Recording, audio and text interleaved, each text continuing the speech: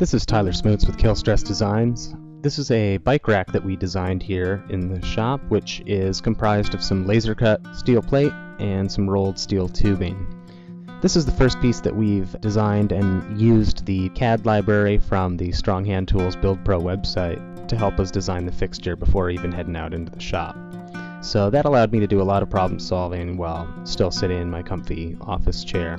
I laid our assembly down on the table and uh, started using some of the clamps and right angle brackets to design our fixture.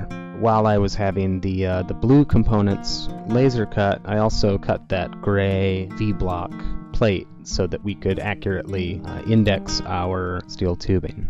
And also the blue components at a correct height. Uh, the blue components would stay clamped down during the uh, production run, and then we'd put the orange components in tack them all together, pop it out of the fixture, and move on. It turned out to be a uh, really efficient process. You know, when we were designing little one off fixtures, I used in context modeling. That made it really easy. Uh, having that CAD library was a really good asset for us.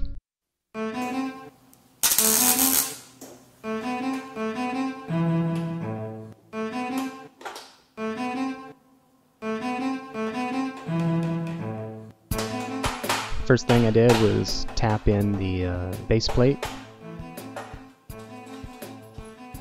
You can see in this shot that the circular component is held down with uh, machinist strap clamps.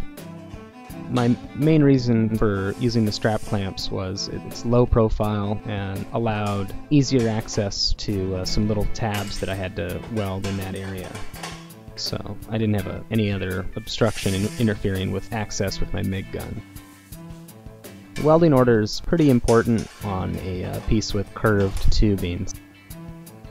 I would do four or five tacks for the base of the tubing to the base plate, and then at the peak I would do three or four tacks about two and a half inches of the seam at the uh, the inside of that joint I'd finish weld so that most of the distortion would happen while I was set up in the fixture. Then I would weld the tabs to the tubing, which later would be used to mount that circular component to the frame. The reason that's important is if you have distortion after you've welded those tabs in, then your hole centers don't line up well anymore. It was really quick to set all the components in place, clamp them down, and then I started tacking up the assembly.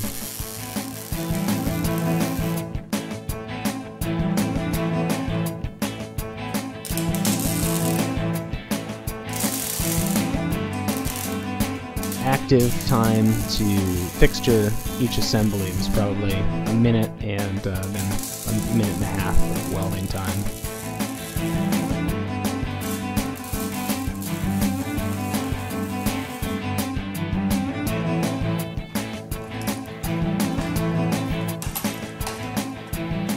Pop the clamps loose.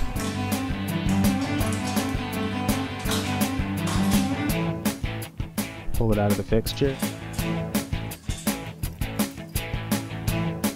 You're done.